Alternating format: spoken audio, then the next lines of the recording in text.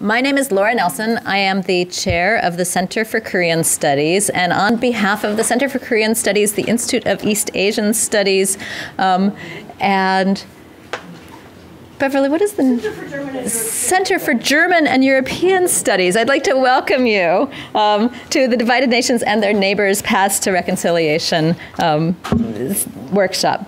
So, um, Bev- I am just going to say very briefly when um, Beverly Crawford brought this idea um, to me in, um, in the late spring, early summer this past year, I was so excited by the idea. I was, first of all, excited to find someone who was really interested in um, division. And um, I have this strange history of having studied in East Germany and taught in Korea. And, um, and I'm just, I became interested in divided nations. There are a number of fascinating and important important political, economic, cultural um, issues around national division and history that we're going to be exploring over the next several hours. Um, and I think that it's a really apt time for this, in particular, given um, the political discussions that are going to be going on tomorrow. With China and Taiwan. Um, so before we get going, I'm going to, um, Beverly's going to set the intellectual um, tone for the conference, but I just want to, um, first of all, thank um, our institutional sponsors, the Taiwan Ministry of Foreign Affairs, the Taipei Economic and Cultural Office in San Francisco, the German Academic Exchange Service, the Institute of the Humanities for Unification of Konkuk University in Korea, and the Consulate General of the Republic of Korea in San Francisco. Without their support and assistance, this could not have been possible.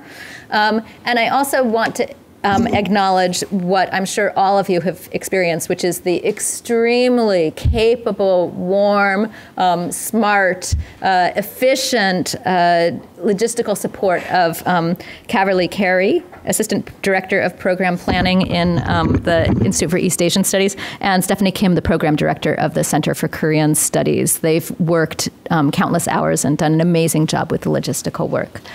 Um, so, given um, given that, given the support for which we have received for this um, experience, I want to bring um, Beverly up here so that she can give us a little bit of a framework for what we will be doing today.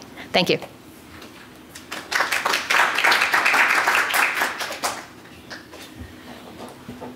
Laura, thank you, and thank you for helping to get this off the ground.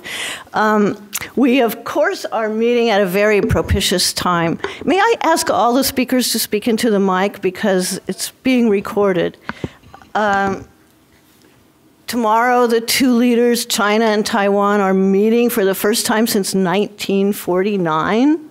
So we have in action divided nations and maybe a path to reconciliation. We will, we will see. Um, also, on November 9th, just a few days from now, we will celebrate the 26th anniversary of the fall of the Berlin Wall. Uh, an event which ended not only the division of Germany, but also the division of Europe and many divisions in the world. And so, what we have is sort of the beginning, hopefully, of a reconciliation process in action we can see tomorrow, and, and we see the, the end of, of a divided nation in just a few days. We'll celebrate the end of a divided nation because the reason why we wanted to do this conference is because we have noticed in our three institutes and centers that divided nations can foster tremendous international instability and conflict. And if you look at the Korean demilitarized zone, which I toured a couple of years ago, and the Taiwan Strait, they, they do remain some of the most crucial global hotspots today. Um, and internally, the politics of, of, the, of, of divided nations are really colored and impregnated with division and its conflicts and contradictions.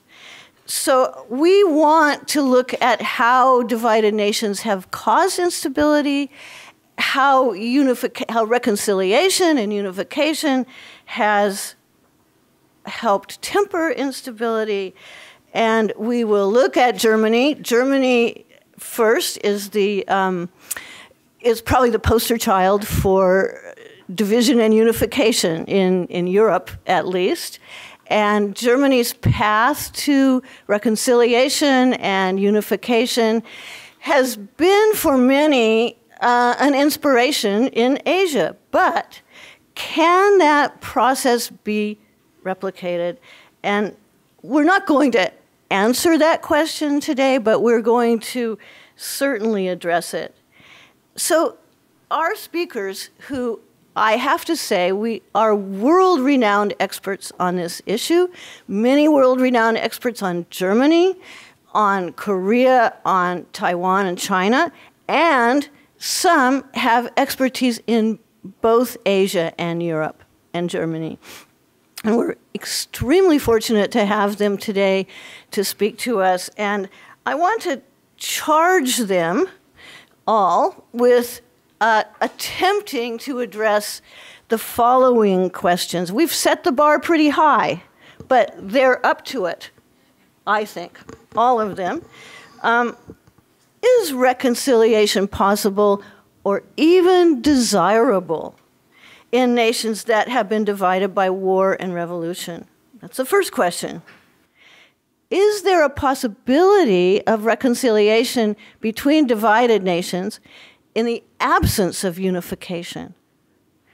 Um, is unification desirable, even? Maybe reconciliation is as far as we want to go to bring about peace and stability.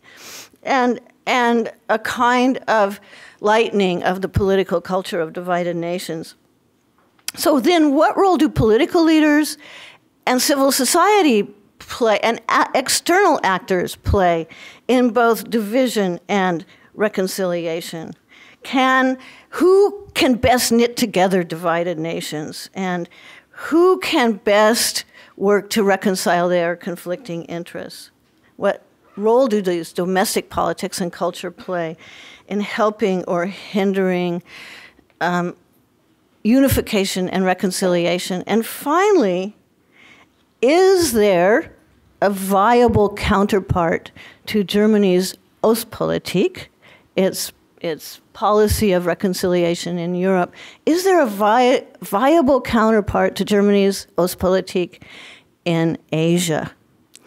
So, with that and with those questions, which our speakers will address in various ways throughout the day, I want to begin the first panel, which is on regional stability and instability and divided nations. Um, so, let me introduce our panel members just I want to introduce them just briefly without short shrifting their impeccable and incredible credentials. Uh, but I want to first introduce Professor Fania Oz Salzberger from the University of Haifa. She is a professor of law, and she is also affiliated with Haifa's Center for German and European Studies. And she is, has written uh, a lot on German Israeli relations and spoken a lot on German Israeli relations. And she just published a book called Jews and Words, which I finished just finished reading, um, and it's wonderful. I totally recommend it to everyone. And secondly, next to her here is Eric uh, Langenbacher, and Eric is uh, is a visiting assistant professor at Georgetown University. He is a political scientist. He has written on numerous topics on Germany. He's a, he's a real expert on, on Germany, and he's working now on the question of collective memory. I think he's working on a longer project on collective memory in Germany, and his paper today will, will focus on German foreign policy. And then we have Professor Sung-Min Kim from Konkuk University in, in Korea, and he he is has looked at theories of division systems, and he is going to be talking to us today about um, how assist, how division of, of nations is part of a of a larger system. And then we have Professor uh, Shou Cheng Teng, who is has whose phone has been ringing off the hook these days to speak on the on on the meeting this this historic meeting between the two leaders. He is he is an expert in both German matters and in ex, an expert in China. He got his PhD at the University of Bonn. And he is an expert on East Germany and this process of Ostpolitik and, and reconciliation. And so I'm really looking forward to all of these speakers. And then we have, and I will introduce him more fully um, later this afternoon, Professor Stephan Haggard from the University of California at San Diego. And Stephan got his PhD here at Berkeley and is an expert in international relations, so that means everything in every part of the world, and, and comparative politics, and has recently been writing on North Korea. He has a very interesting blog on North Korea called Witness to Transformation, and he has just public, he's just coming out with a book on, on North Korea, which we'll talk about more later this afternoon. So, without further ado, uh, I think I will chair this panel. Each speaker should speak about 20 minutes. Um, and we'll try to keep you on time. This is a very long conference. Um, we crammed everything into one day, and so we're hoping to keep things short and precise and getting to the point. So, our first speaker then is Professor Oz Salzberger. Much. First of all, let me make sure that everybody can hear me. Is this more or less the right volume, right distance from the microphone? And secondly, and importantly, I'd like to thank you, Beverly, and your colleagues, and of course, Kaverly and her staff for this wonderful invitation. I just told Professor Gardner Feldman that I flew from exactly the other side of the world to be here this one day. I arrived last night, I'm leaving tonight, and I think it's well worth it, even though the journey is more than double the time that I'll be spending here. It's well worth it because, as I will shortly be saying in brief, the case of Israel and Germany, and I will make it triangular in a way Israel, Palestine, Germany is so unique that perhaps it is incomparable, but I'm not sure that it is incomparable. And I think that if there is any solution to the Israel Palestine situation, it amounts to thinking out of the box and perhaps looking at other cases by way of comparison.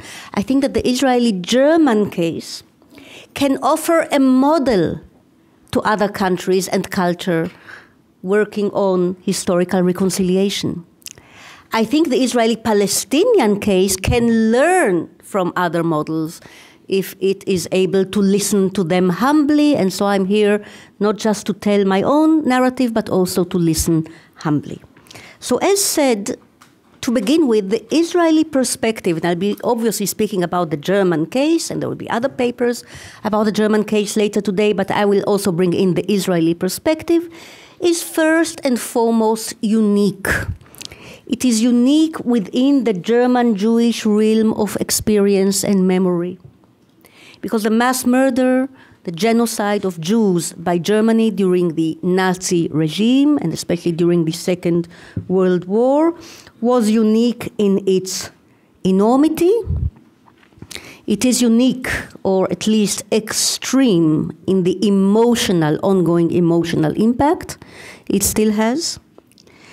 It is unique, and I will dwell on that briefly, on the historical intimacy between the two nations involved. It is unique, or at least very special, in the long and successful process of conciliation. And it is, of course, unique in the sense that if our conference is about divided nations and reconciliation, and if Israel and Germany were once upon a time very divided nations prior to conciliation, today it is not Israel and Germany which are the divided nations. Quite the opposite, they are very close. It is Israel and Palestine, where division has be, had become enormous and indeed monstrous.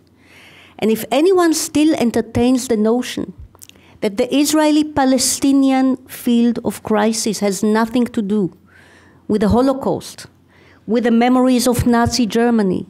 They are, of course, direly mistaken because the Holocaust resides in so many different layers of the Israeli Palestine, Israeli Arab conversation to date.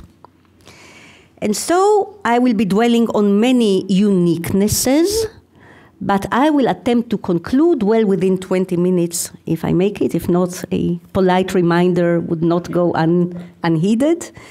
Um, I will conclude with a few suggestions at universalities, lessons to be drawn by other parts of the world and not just by uniquenesses. So, of course, the first uniqueness is the enormity of the Nazi genocide of Jews, of course, other nations as well, but there is a well uh, founded uh, case for the uniqueness of the Holocaust. And when I speak about the enormity of what happened between the years, I, I will spread out a little bit, 1935 to 45, although the mass murder itself only began in the early 40s, what happened in that decade has stamped itself upon global memory, global culture, and indeed human consciousness as such, all the way from poetry to philosophy to ethics, uh, including the ethics of science and international relations. Which is why, when I speak of post Holocaust Israelis and Germans, and by extension Jews and Germans, I have subtitled my paper The First 70 Years, because in some ways we are only just beginning to work on it. Some of my German friends and colleagues, including very well meaning German friends and colleagues, think that the time has come for so called Normalisierung or normalization of the German Jewish memory, since we are now almost three generations away from the time of the, um, uh, the murderers and the victims. Not so. Not so. There will not be a normalisierung within the time of my children or grandchildren, I suspect. What we do encounter today the, from the beginning of this millennium is a new abnormality. I call it in my German uh, lectures die neue Unnormalität between Israelis and Germans, Jews and Germans. It is here to stay and to be reworked and reconsidered and reflected upon, and the basis for great creativity, by the way, in generations of Jews and Germans to come. Emotionality. This runs very deep indeed. I grew up in an Israel in the 1960s, 70s, in which no one wanted to hear the German language, let alone to speak it, even like people like my own mother in law who were born and bred in Germany, spoke beautiful German from her home in Frankfurt. No way did the language ring in her everyday life. There were German books on the shelf, but nobody hardly anyone translated literature from German to Hebrew, with a few notable exceptions such as Erich Kästner and Karl May, but these were children's books, beloved ones, by the way. And um, nobody bought products from Germany. My family does not buy Siemens to this day because the said mother in law and her sisters were slave workers for Siemens in the Ravensbrück concentration camp. But of course, other products from Germany are today very popular in every Israeli home. So there was a deep running emotionality, and strangely enough, this emotional sense of total nullness, of stunned silence, of boycott has receded over the years, became a more sophisticated nationality. I will quickly read part of a memorable poem by the Hebrew, great Hebrew poet Natan Alterman about the German legacy as it rang in Israeli Jewish ears in the early 1950s. My translation into English, and I read, Alive are the Nibelungen, fire, darkness, and Judenrein. In the battlefields fall die Jungen, und ruhig fließt der Rhein. This is, of course, quietly flows the Rhine from the famous poem by the German Jewish poet Heinrich Heine. Um, east, east, the battalions are riding, but they know that the day is near. Other rivers will flow pure, pure and tidy, but the Rhine will stay red, never clear. This is the new Lorelei for post Holocaust Jews And the Rhine, tells us Natan Alterman, will always remain red for us, while other rivers will become clean again. Um, he was wrong. The poem was titled The Liberation of Lorelei. He was wrong because today, or um, certainly um, in the last 15 years, hundreds of thousands of Israelis visit Germany as tourists. And by the way, also hundreds of thousands of Germans, especially young Germans, have come to Israel. Over the last decades, their number grew steadily. So that we are now talking about, in conservative estimates, well over half a million Israelis have been to Germany on tourism, business, and study. Um, the, tourism influx both ways is steadily growing by as much as 8% per annum. Uh, thousands of Israelis permanently reside in Berlin. I wrote a book about it, an early book titled Israelis in Berlin already 15 years ago. German visitors, products, cultural artifacts are commonplace in Israel. There are great scientific relationships, academic exchanges, and so on and so forth. What is left of Alterman's bloody Rhine? And the preliminary answer is that a great deal has changed. The Rhine does not flow red for us, but a lot has persisted as well. Israelis have not normalized their relation to Germany, rather, we're witnessing a new type of abnormality. The main thrust of my ongoing research work, which I will only very briefly lay out here, speaks of a four stages process between Germany and Israel and at some point, by the way, it becomes a process not so much between Germany and Israel as between Germans and Israelis. That is, civil society and the individual realm has been taking over from governmental decision making and governmental policies. The governments are still up and running, of course, but today it's Tel Aviv and Berlin talking to each other directly in thousands of different ways artistic, academic, people to people, erotic, you name it, over the heads of the countries. And sometimes when the governments are experiencing tension, as is the case today, by the way, between Angela Merkel's government in Germany and Benjamin Netanyahu's government in Israel, ordinary people are creating a far more viable, interesting, creative, and friendly exchange between them. So this is something which I'm not sure whether I should uh, um, put in the slot of unique or perhaps universalizable, but it's the ordinary people who are doing the most important job.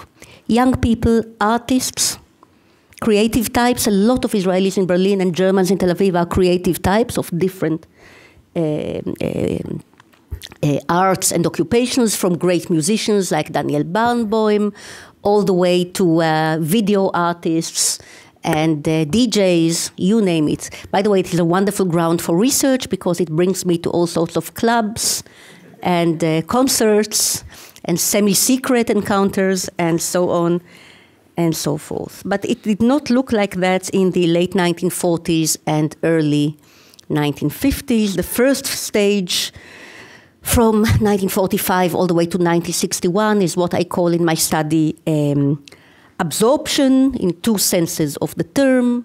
One sense is, of course, the immigration to the new founded state of Israel of hundreds of thousands of refugees.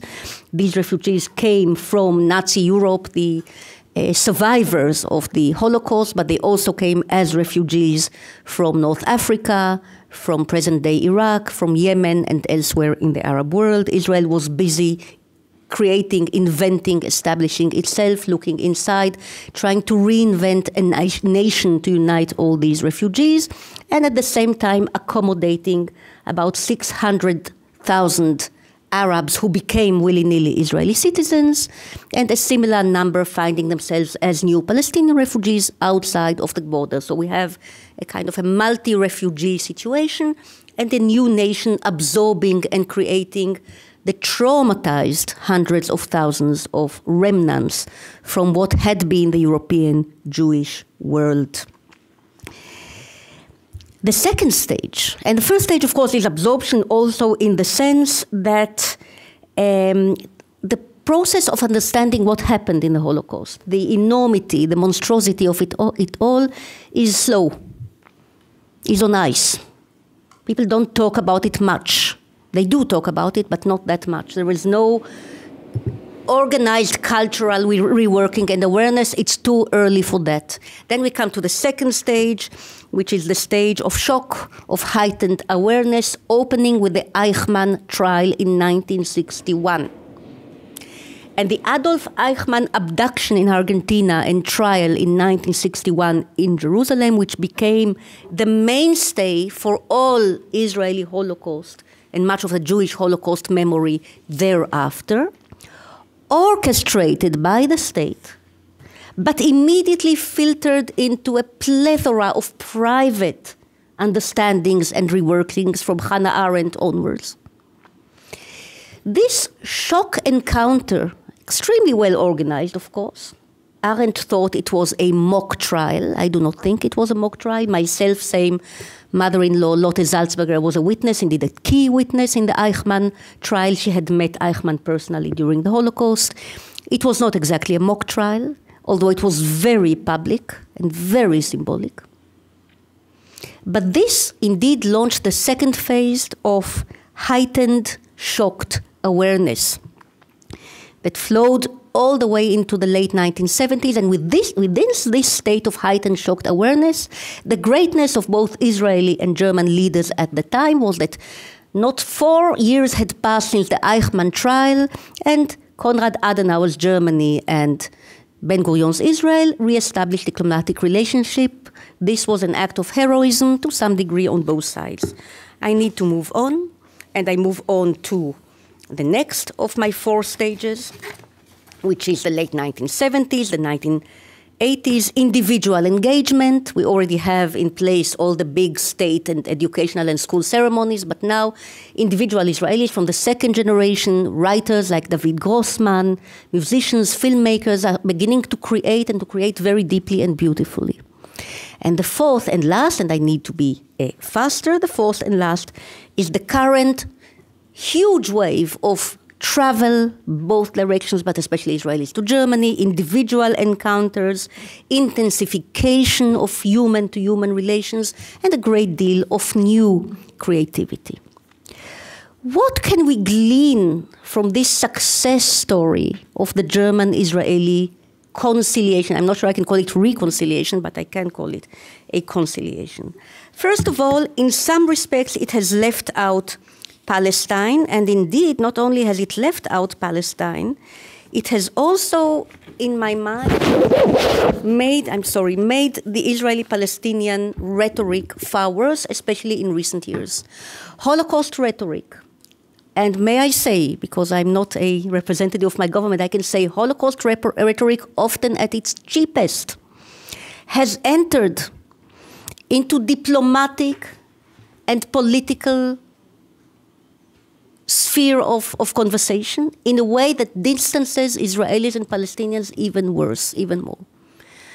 By accusing Palestinians and other enemies of Israel, such as Iran, of echoing the Nazis, our government, I would not like to get too personal here, but our government is both, in my mind, mind of many of my colleagues, abusing Holocaust memory and also creating the, the Jewish Arab rift in a far deeper and metaphysical, meta-historical, uh, onto a meta-historical path, which is, to put it extremely briefly for Bev's sake, not a very good idea. On the other hand, the Holocaust is present and can be positively present in the Israeli Arab discussion, simply by means of showing that both sides are victims of colonialist Europe and especially of Nazi Germany, both sides, not just the one. What else is, and I'll very briefly sum up and wrap up, what else is universal about this unique route of Israeli German conciliation? What can be extended to other parts of the world? I think it is a shame in a way that there has been no Eichmann trial, no comparable, one big historical moment of reopening the memory and sorting and putting in order facts and narratives and fears and hopes. But it is not too late to open up what, in the Israeli German case, has been an extremely successful, honest conversation involving all sides. This is not about forcing nations to love one another. This is not about removing walls willy nilly, whether both sides want it or not. It's not about the physical walls or borders. It is certainly about a heightened sense of mutual honesty involving not only government, but the hugely important people to people encounter. Cultural intimacy, historical familiarity is not only the case of Jews and Germans. I think many other divided nations in the world do share a cultural intimacy. At its worst, this is only heightening the bitterness because people who are so much alike us are our greatest enemies. But in other ways, it can also offer a bridge for a truly deep and honest discussion. And of course, as has been the case in the Israel German and also, by the way, in the Israel Palestinian sphere of dialogue, a tremendous trigger for new cultural, scientific, academic, and especially artistic creativity. Thank you very much.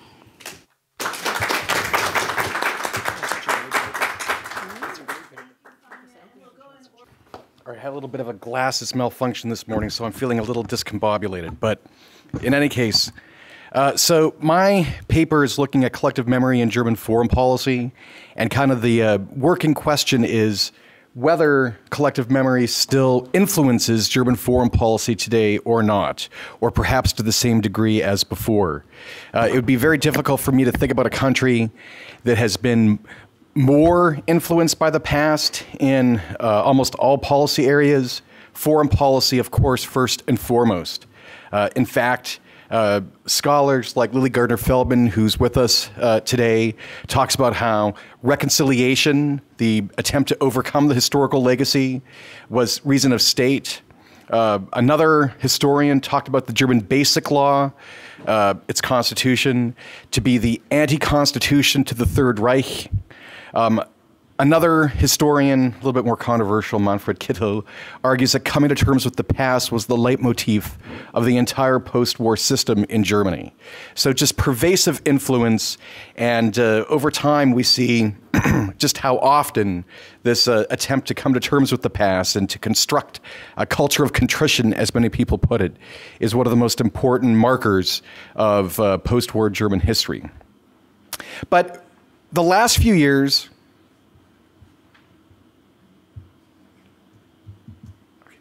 Uh, the last few years have seen some foreign policy decisions or trends that uh, indicate that the power of the past, the power of this contrite collective memory, may be waning. Uh, there's some evidence that Germany is well, according to some people, finally becoming a normal power again, where interests of state, where self interest, in the very kind of realist sense of the word, are um, having an influence on policy decisions that we just never really saw before. All right, so I get into a lot of this in the paper, but uh, what I want to stress quickly is that I'm looking at the impact of the past, and of course, it's very difficult always to uh, to uh, uh identify uh, the impact of the past and not the impact of other factors as well. So I'm, I'm trying to create a preponderance of evidence to make a case for the impact of the past and how that may have uh, declined over time. So what I'm looking at briefly, and hopefully in a larger project in more detail, uh, is the impact in the foreign policy of a variety of chancellors and a variety of foreign ministers. So I thought that I would put all the information in a couple of nice um, tables uh, just to show you the people that I'm looking at. I also briefly look at some German presidents. The German president is, of course, a figurehead, but a figurehead with a lot of kind of symbolic power at times. And indeed, quite a few German presidents have made uh, very important statements uh, and contributions to this culture of contrition, including the recently deceased Richard von Weizsäcker, as well as the first president, Theodor Heuss, and now, of course, Joachim Gauck. Uh, very kind of uh, important individuals. But that's a lesser focus than the foreign ministers and especially the chancellors. Now, the other thing that I do too, this is kind of the big takeaway. Um, I spent some time looking at uh, two different kind of vectors. The first is how salient memory is for a variety of policymakers.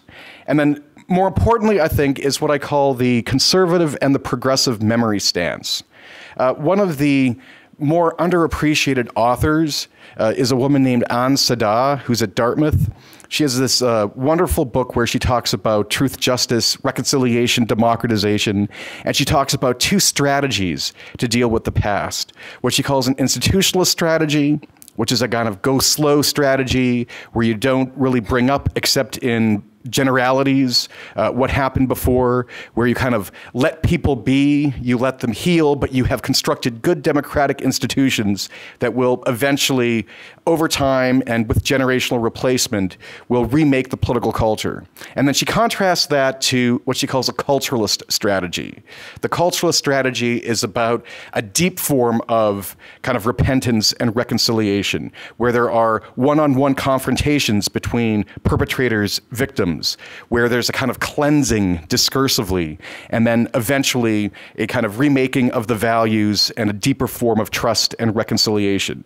And I think that actually maps very, very closely to what I call the progressive and the conservative memory stances.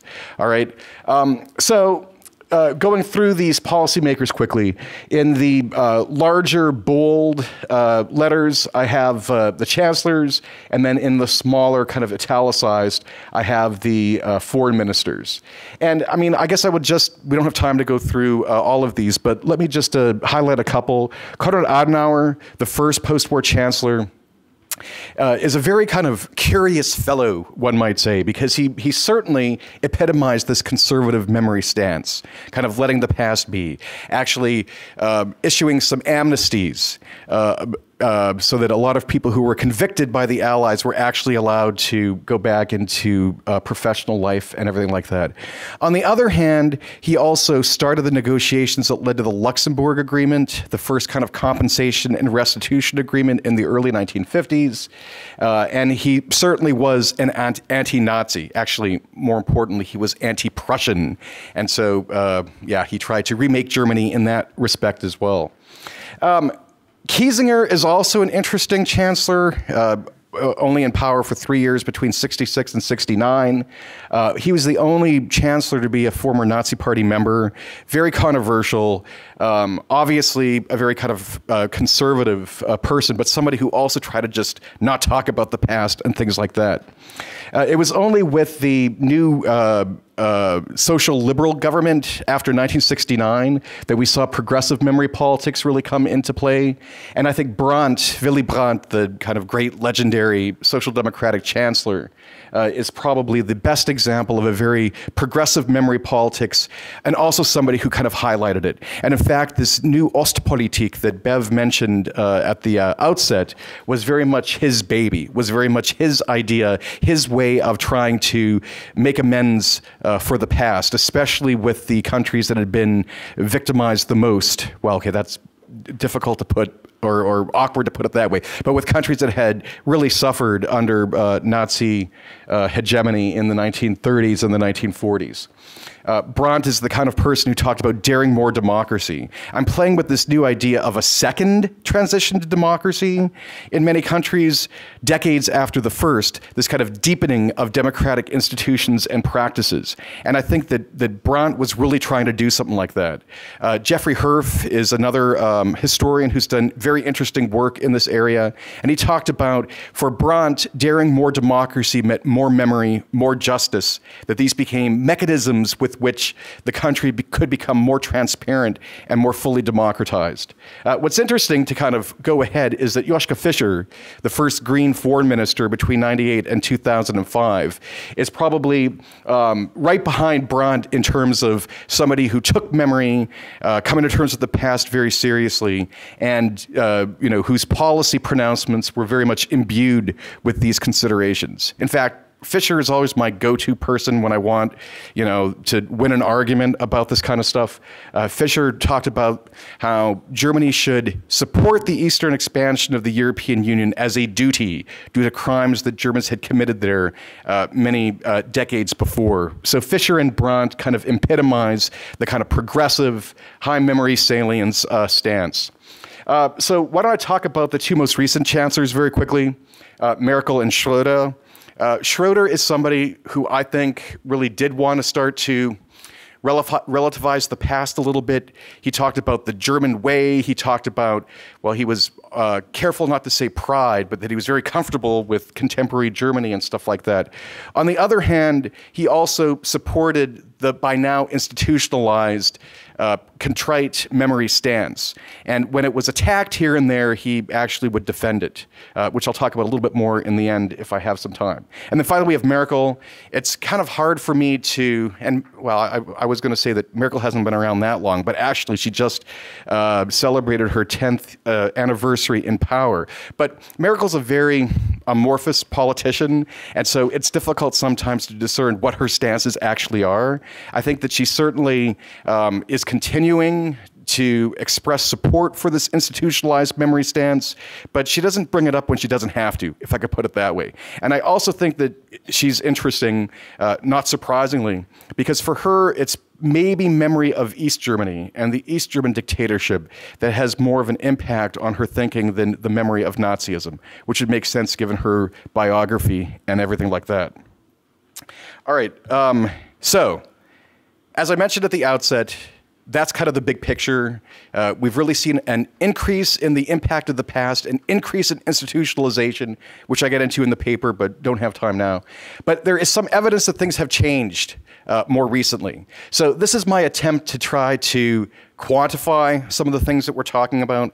So what I did is I did a keyword count. So I looked at by each year the number of books that the German National Library, based in Frankfurt and also Leipzig, have in their online database. So it's one way to see how many books have been published in a given year, given an, with a, a, a, specific keyword, uh, which is a proxy measure for these kind of trends, I think. And what you can see is you can see that, um, so the what the uh, second from the top is uh, the Holocaust. And as you can see, there was a big increase in books published, or at least obtained by this uh, German National Library, the Library of Record, in the mid 1990s. I think that really shows that this was uh, where interest in coming to terms with the past, interest in the Holocaust really kind of uh, peaked. And then we see a decline since then, um, and especially over the last few years, a further decline. But what's interesting is that some of the other um, uh, memories, the memory of German suffering, as I call it, or as other people call it the memory of Germans as victims, has also kind of declined. So one might argue that it's not just that what, one of the things that's changed in recent years is that interest and uh, the memory of the Holocaust has started to decline, but there might be a more general kind of global decline in interest in the past uh, in Germany, uh, perhaps indicating, indirectly at least, that uh, uh, Germany is becoming a more normal power, more interested in determination of self-interest based on you know very pragmatic considerations, uh, as opposed to uh, these specific influences from the past. The other thing to note too is that, you know, um, time is is brutal and vicious. It just keeps going on. And if you look at the biographies of major German uh, uh, policymakers, you can see that uh, it would also start to make sense that the past would matter less as the uh, events in question have less and less of a personal impact on policymakers' biographies. So as you can see, like let's go back to Westerwelle for a second. He was the uh, foreign minister between 2009 and 2013, uh, a liberal. Uh, was, you know, 28 when communism fell, and he's currently over 50. I mean, Westerwelle is uh, one of the youngest policymakers that that have has had a kind of impact, and you know he has zero kind of connection with the Nazi period. In fact, all of the most recent uh, chancellors and foreign ministers have had very little kind of biographical experience with these things. So generational change is something to take into consideration. As much as the Germans have institutionalized many of these uh, components of memory in uh, uh a variety of respects. Uh, the fact that the generations now in power have no kind of connection to this is going to be uh, quite an issue. Uh, what's interesting is to look at Merkel. Um, I don't have um, Joachim Gauck. These are both Ossis, although I'm not sure that we're allowed to use that term anymore. They're both from the uh, former East Germany, and you can see that Merkel was, you know, uh, already well established at the age of 35 when communism fell. But for the for the uh, leaders that come next, they're not just going to have no connection to the Nazi period, biographical connection, but they'll also have very little connection to the period of German division as well. That's one of the things that I think is interesting, is if we were to look at German memory debates today, what we've seen is we've seen a rise of pluralism right? It, you know, from the 80s onwards, it was very clear that when people talked about the past in Germany, it was the Holocaust, right? Even though in the decades before that, and this is one of the things that frustrates me a little bit with um, some scholarship. Uh, you know, a lot of people have talked about how, you know, in, during the Adenauer era, during these periods of more conservative memory politics, there was no memory right? But that's actually, I don't think, true.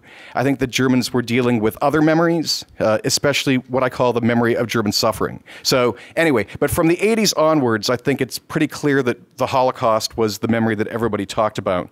Uh, so, in recent years, what we've seen is we've seen you know, the maintenance of this interest in the Holocaust, maybe with a slight decline, but we've seen the rise of other memories. We've seen the return of this memory of German suffering.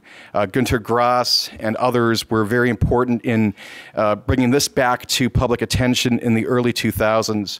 We've seen the rise of other memories. East Germany, for instance, there was a lot of attention devoted to what the 40th anniversary of the erection of the wall, the 25th anniversary of the fall of the wall, the 20th anniversary of German unification. So, this new memory, which is also more proximate, is now competing with the Holocaust for influence in people's uh, policymaking. Uh, Merkel, for instance, has had major issues with uh, the NSA, as everybody probably knows. You know, every European that I know that has come to the United States in recent years, that's the first thing that they mention. The NSA scandal, oh my God. And Americans, at least in Washington, don't seem very kind of um, upset about that. But this is a big deal in Germany. And with Merkel, of course, it's probably the memory of the Stasi, right? And having lived in East Germany, that is motivating her responses to this more than uh, the memory of the Nazis. So I guess I will conclude with, uh, with that, uh, that as much as Germany has been deeply imbued with this uh, culture of contrition, this desire to reconcile with former enemies, that it's become reason of state. We've seen in recent years the rise of certain trends, of certain phenomena uh, that might make this less the case going forward. The first is the kind of change of generations. We're now the second, third, maybe fourth generation past the Nazi period, the World War II era. Uh, we've seen the rise of other memories that are competing with memory of the Holocaust for discursive space and for uh, kind of influence on people's thinking. Uh, and the consequence of this is perhaps the rise of a, a, new kind of normal foreign policy in Germany and then I, I talk a little bit about the euro crisis and the treatment of Greece as perhaps an example of this kind of new normal German policy. Many people have speculated, myself included, that had the euro crisis happened, well, had the euro happened earlier, but let's say 1999 instead of 2009, we might have seen very different responses. Uh, back then, at the kind of high point of impact of this memory, uh, the Germans very well may have done what people said they should have done, which which was to kind of open up the spigot and uh, send more money to you know help Greece out. But by 2009 and onwards, I think that uh, we're starting to see a, a much more normal uh, German foreign policy, one that will kind of push through these kind of hard-nosed bargains, these hard-nosed diktats, and not worry as much about the consequences. But anyway, I will conclude there.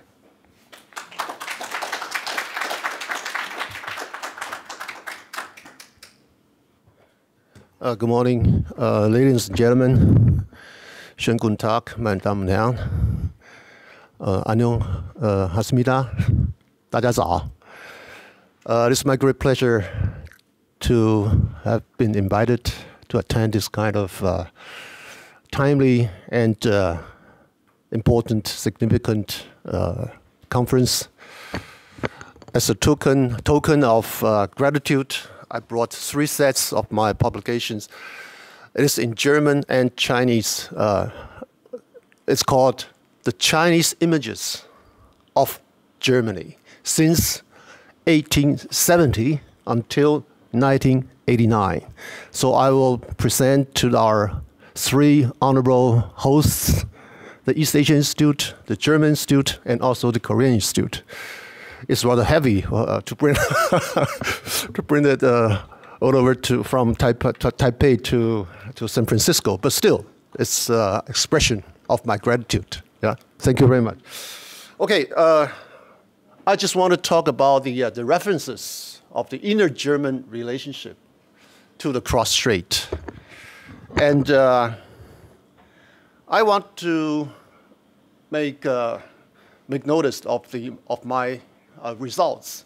That means the current cross-strait relations are moving towards the German model. This is actually my um, observation and uh, my result, my findings.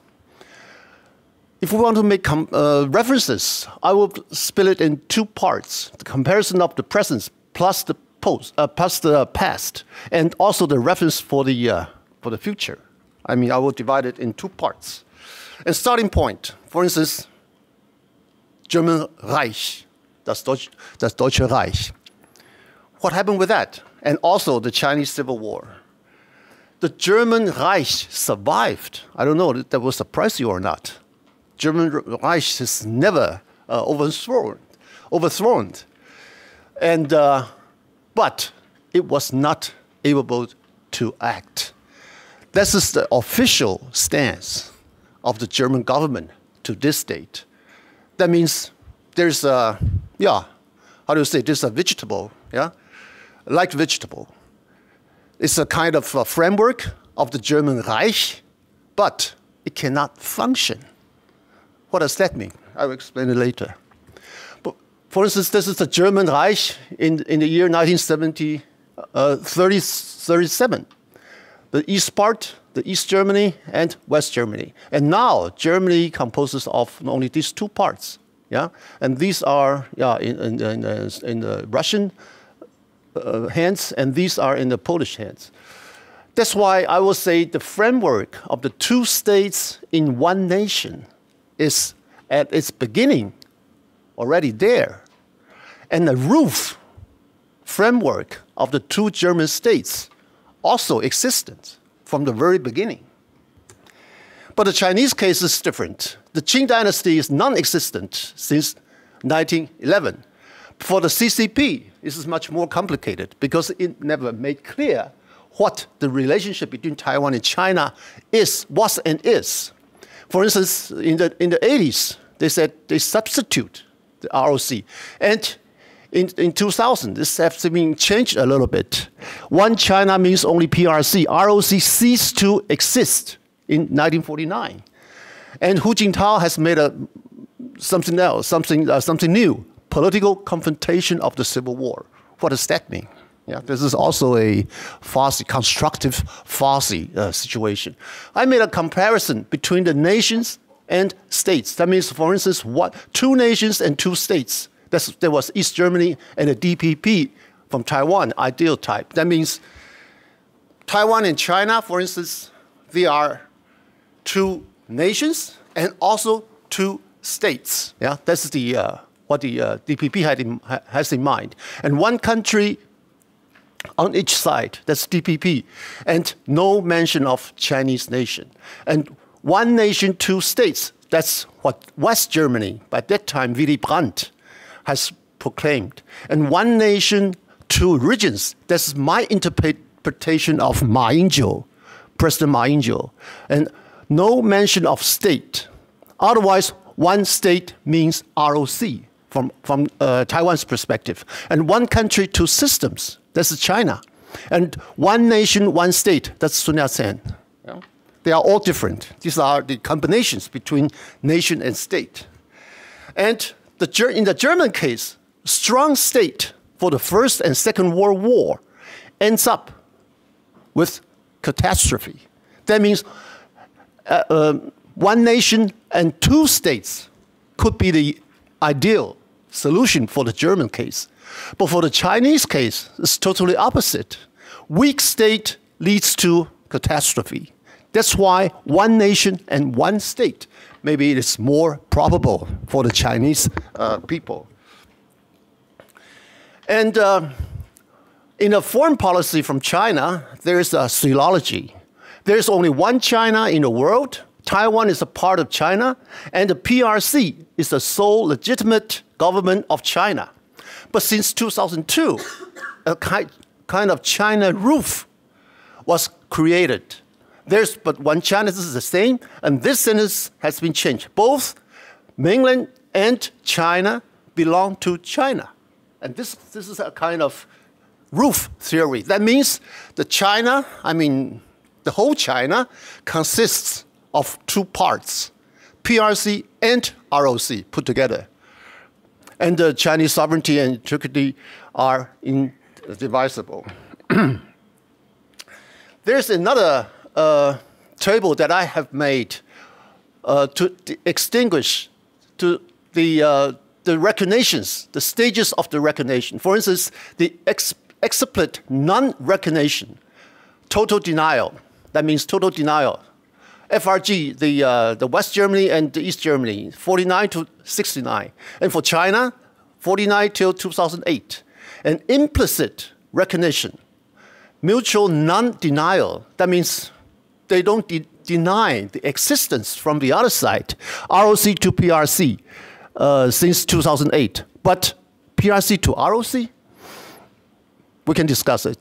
And semi-explicit uh, recognition, de facto recognition, um, for instance, international activities, Olympic Games, Chinese Taipei, uh, etc.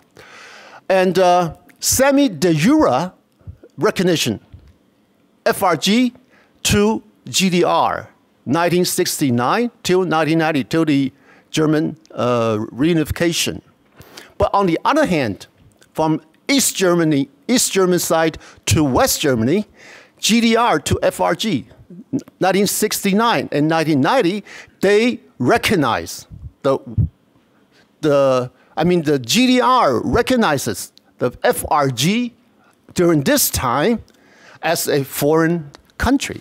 But from the uh, West German point of view, East Germany was never betrayed, uh, treated as a foreign country. So that's the differences between the two German states of their stances. And the quintessence, I mean the, the major uh, content of the so-called 1992 consensus is just like, in my view, a Gretchenfrage. A Gretchenfrage is uh, maybe, maybe you know the Faust, from Faust, yeah? The Gretchen is a, is a little girl. He poses the, the question to Faust, what's your take of the religion? And this is so essential for us. I mean, between Taiwanese and Chinese. What's your take of Chinese? For instance, that's the question that Beijing could have posed to us. Yeah? If you say we are foreigners, that will end all kinds of communications. But what if we want to go on explain, uh, developing our relationship? So we have also invented a kind of non-foreigner status. That means we are non-foreigners to each other. That's the minimum of consensus that both sides can make. Otherwise, there will be no fundament of communication between the two sides, Taiwan and China.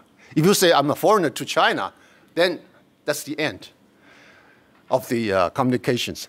So that's why I would say falsification. Falsification means that we cannot verify what this one China is.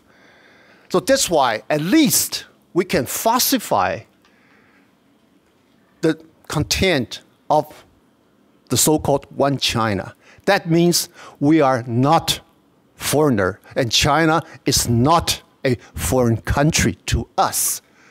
Otherwise, they will be very complicated. So that's the actually the quintessence from 1992 consensus. And the developments since 2008, since President Ma Ying-jeou took office, has, proved, has been proven that the both sides has, have already accepted and the relationship, I would say, uh, go on rather smoothly because of this, because of this 1992 consensus. And because you cannot verify, as I just said, what one China mean, means. So that's why this one China could also be explained as a kind of belief, a political belief. Do you believe it? There's only one China. If you say, I believe it, okay, then it's, the problem can be solved. And as for what kind of content this one China could have, we can still discuss it. We can still negotiate it. And we can also wait and see what will come up. But if you say China is a foreign country and Chinese are foreigners to us, and then that will end all the conversations. That's the differences between the, between the, I will say, between the KMT and the DPP, because the DPP has never uh, expressed their position to accept the so-called 1992 consensus. and the national and reunification question, that's the, uh, one of the major centers of the uh, Grundlagenvertrag, uh, the, uh, the basic treaty between the GR, FRG and the GDR in the year in the early 1970s. And these indicates actually, I would say, the three major contents the same German past, because the East German ideology has led to the revolution, according to Marx, uh, that the new state of the GDR has nothing to do with the Nazi regime. This is their theory. Yeah? But for the, for the, for the FRG, they inherited most of the legacy from the Nazis. For instance, the compensation to the Israels. Yeah? But for the GDR, the story is totally different. But in this, this sentence in the basic treaty uh, has indicated that they really have some common past. Yeah? And also agreed to disagree uh, with both sides. And also, I find it very fascinating that they put lots of their dissents in a letter of German unification.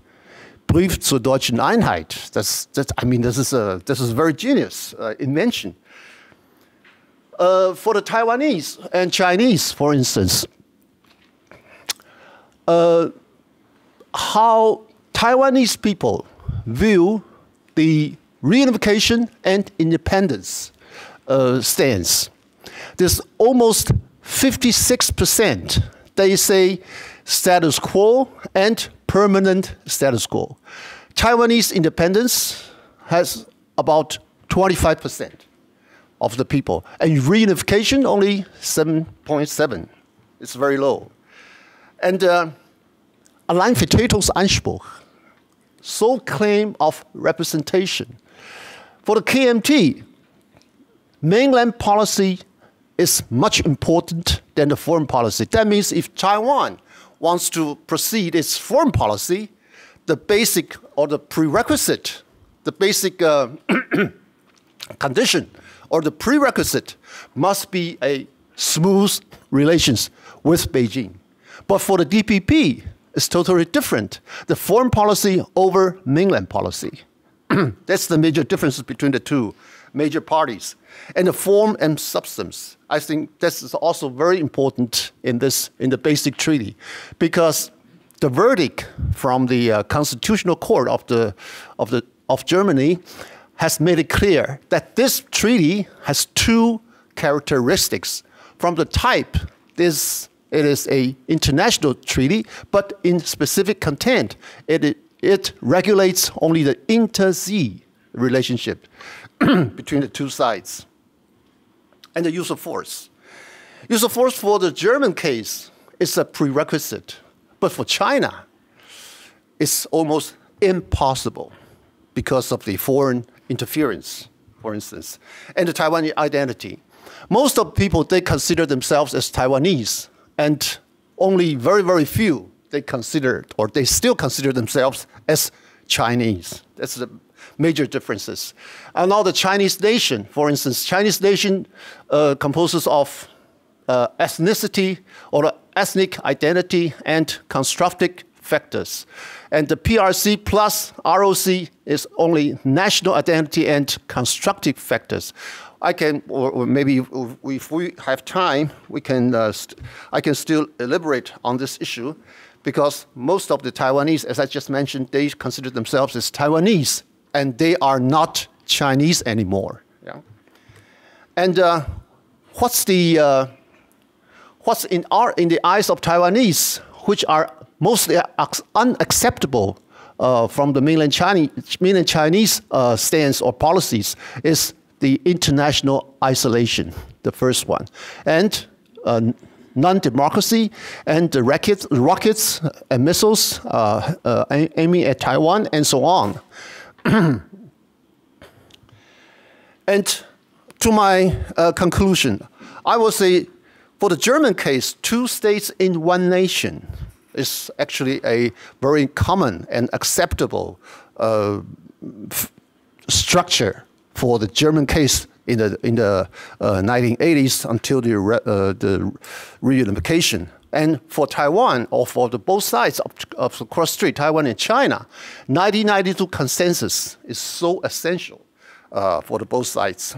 And this is also a kind of roof framework uh, from the Taiwan-China case uh, emerges.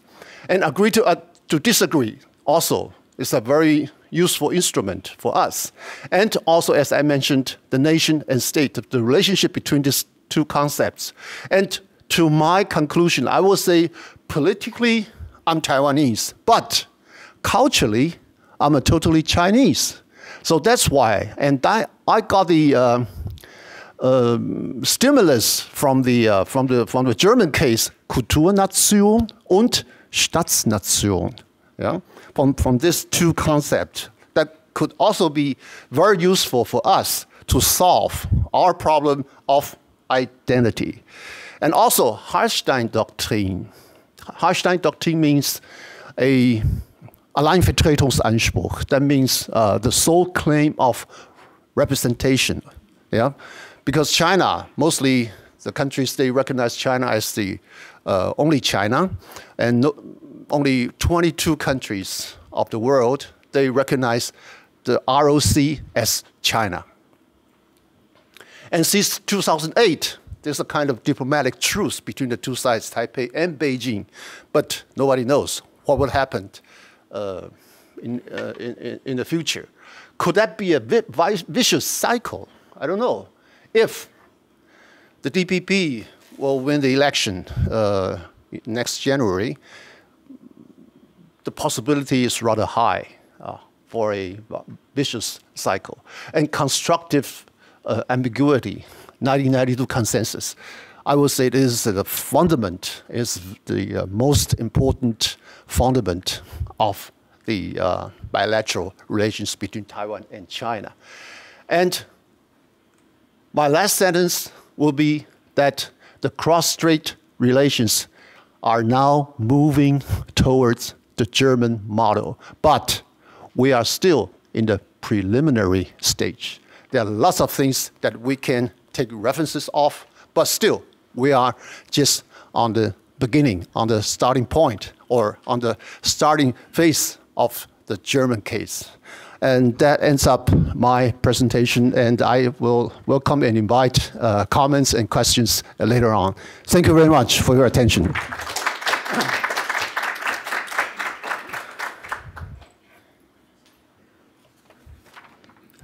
Good morning. Thank you very much for inviting to this conference, and I'm happy to be here. I have an opportunity to share ideas and perspectives with scholars from different countries. Uh, due to the limited time given to me, uh, I skip some parts of my manuscripts and go directly to the core ideas. Uh, the post-Cold War trend prevalent throughout the world is creating crevices in the existing security structure of East Asia. Uh, however, unlike the Cold War hostility between the US and the USSR, China-US relations of today are double-sided, consisting of both cooperation and competition, and moreover, North Korea-China relations are not as strong as they uh, used to be. Uh, such circumstances in East Asia have, an, have led international relations in the region to play out in a very complex way, undefinable in linear terms. Uh, the goal of Obama administration's pivot to Asia policy is to effectively contain China, which is ferociously flexing its muscles in all areas, including politics, economics, and military. It has uh, been strengthening the US-Japan alliance and encouraging Japan to rearm under these circumstances, Japan is seeking to increase its military clout and transform itself from a war criminal state to a normal state.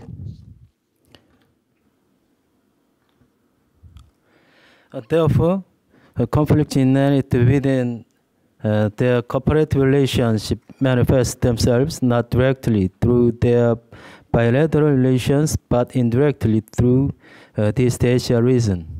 North Korea nuclear helps legitimize U.S. strategy in East Asia, a strategy aimed at strengthening the U.S.-Japan alliance and rearming Japan. Although the U.S. is in reality targeting China, it uses North Korean military threats as a legitimate base for strengthening the trilateral security cooperation between South Korea, U.S., and Japan. Indeed, the vision is the most important cause of destabilization in the regional order. That also means that the process of upcoming division will be the road to making peace in the region.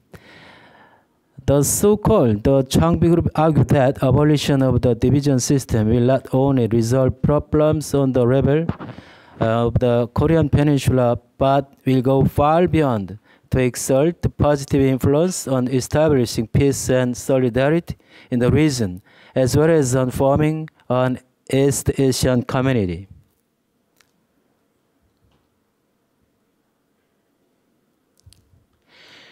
During the Cold War, it was difficult to bind and think of countries in East Asia as one regional unit because of the intense hostility in the region between the so-called Northern Triangle and Southern Triangle. At the end of the Cold War was not only an opportunity to recover the perception of East Asia as a region, but also an occasion to start searching for a new regional order. Among the socialist countries, China played the central role in reviving this East Asian perspective. Initially, the Changbi group used the concept of a division system coined by Paik Nak Chung to deal with the divide, division issue. It's a unique system in which ruling powers in North and South Korea maintain not only an antagonistic confrontational relationship with one another, but also one of symbiosis, and which also has self-reproducing abilities. The focus on the reality of a, of a divided peninsula led the scholars to identify, identify East Asia as a middle category of mediation on a regional level between the division system and the world system. East Asia as an intellectual experiment refers to the thought and praxis that East Asia should be seen not a fixed entity, but as something that uh, fluctuates in the process of self-reflection. It's a strategy to break away from both Orientalist prejudices and Occidental obsessions which both fundamentally differentiate the East and the West. East Asia is a region, but at the same time, as the tendency to try to intervene in the transforming global capitalism.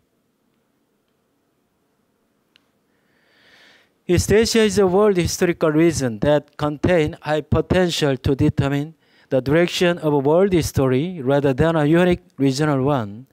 The transforming the division system is essential for building cooperation and peace in East Asia.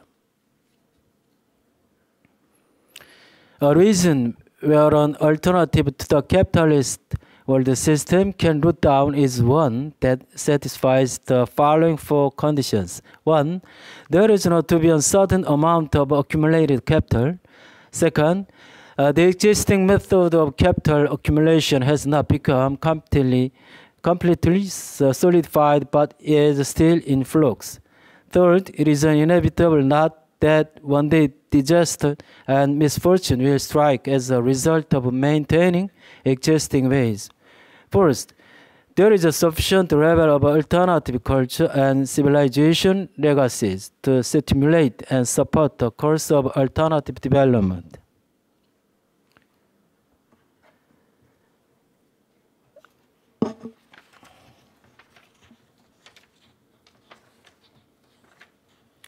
But in other points of view, uh, others have said that the theory reduces the device conflict and contradiction of East Asia to simply on peninsula. In other words, the emphasis on East Asia as a periphery in the world system, and the emphasis on the Korean Peninsula as a periphery in the East Asia show the means of privileging the periphery by excluding and objectifying other regions.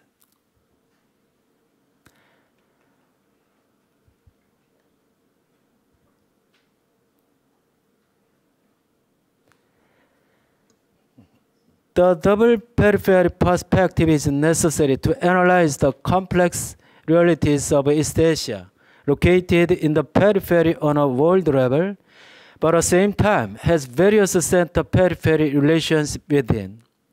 The double periphery perspective, which assumes the existence of peripheries within East Asia, is the result of a reflection upon the fact that the East Asia theory can place prerogative on the Korean Peninsula or on the periphery in the process of positing East Asia as an alternative. It's from the position of the Korean Peninsula, which has lived a passive destiny as a Chinese tributary, a colony, and a divided nation, that one can propose the right direction for East Asia to head in the future. The peninsula's peripheral position itself becomes a legitimate base. A concept of double periphery does not place absolute value on the center periphery relations, but rather seeks to find other peripheries like Okinawa of Japan and extends the center periphery relations into a continuous chain. This is not a building yet another center in counter to the existing one, but about deconstructing all centers, internal and external. For example, open regionalism refers to coming up with ways to limit U.S. influence, which is the center of the peripheral East Asia. For example, two, as well as tearing apart the center periphery relations existing among members of East Asia.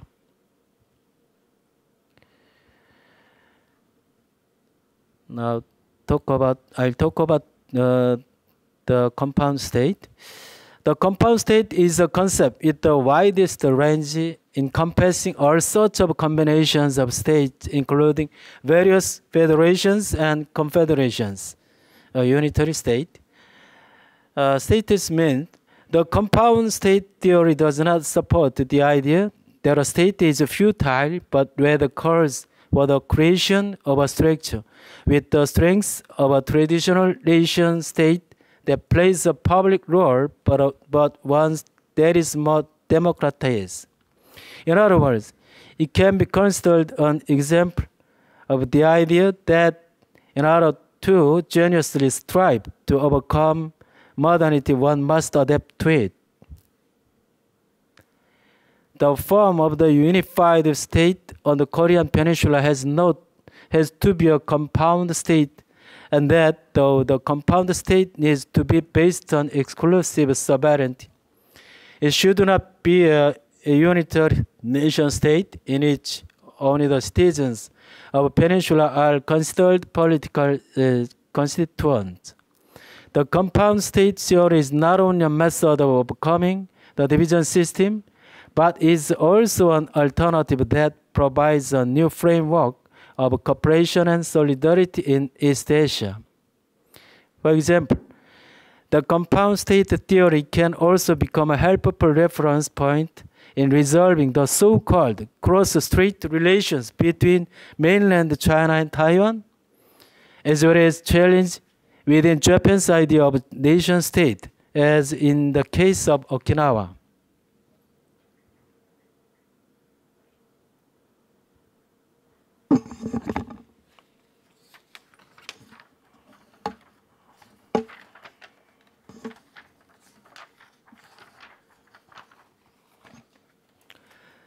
Uh, in conclusion,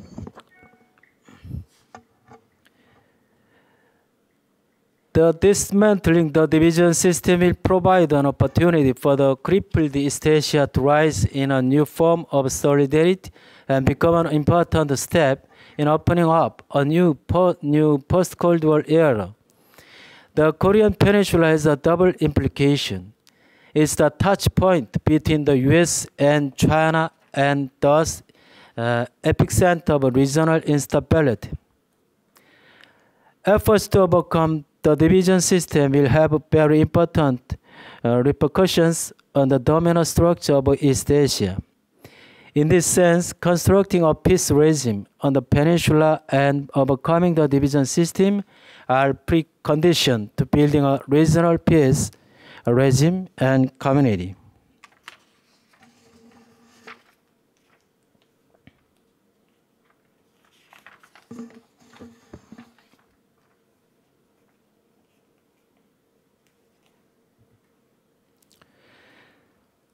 Therefore, dismantling the division system and unifying the Korean peninsula have the following uh, implications for peace and coexistence in East Asia.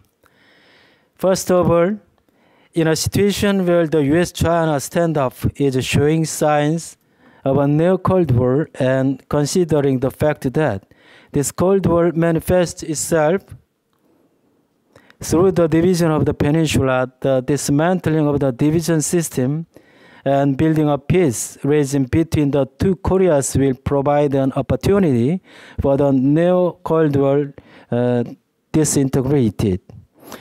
At the moment, a new Cold War is developing in the form of the Southern Triangle, consisting of South Korea, Japan, and US, surrounding and containing North Korea. Countries in the West believe they can maintain their control over North Korea through China, but they are mistaken. North Korea is a country with a strong sense of self-pride. Moreover, the North, in the retaliation against containment, is putting everything online. A mouse with nowhere to hide eventually attacks the cat. One first move in trying to contain the North can lead it to make a rash judgment. Therefore, a way to attain peace would be to seek politics of a comprehensive compromise in the form of North Korean giving up its nuclear arms in exchange of forging diplomatic ties with the US.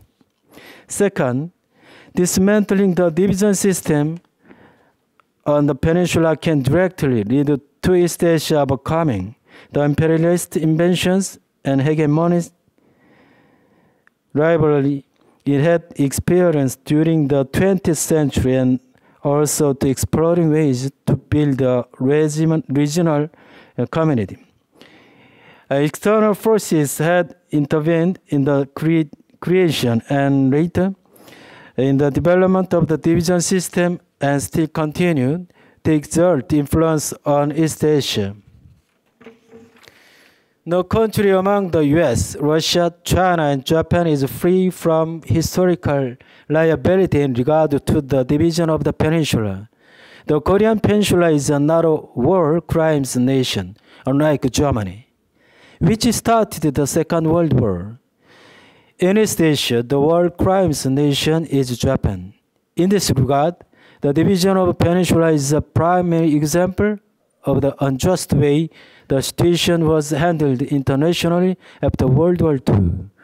Therefore, dismantling the division system can pave the path to overcoming the entire history of imperialist inventions beyond East Asia to encompass even the Western hemisphere.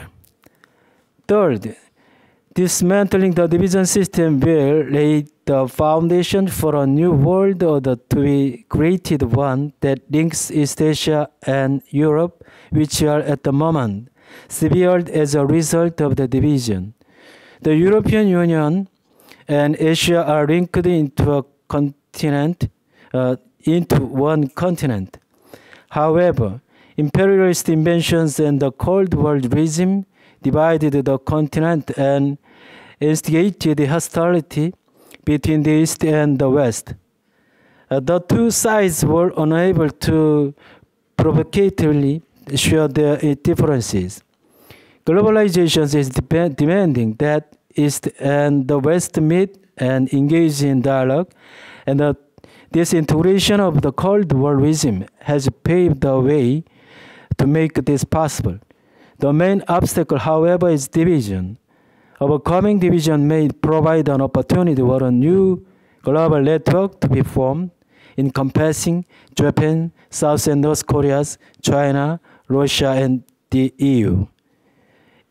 In this sense, dismantling the, the division system on the Korean Peninsula is indeed directly linked to world peace and coexistence. Thank you for listening.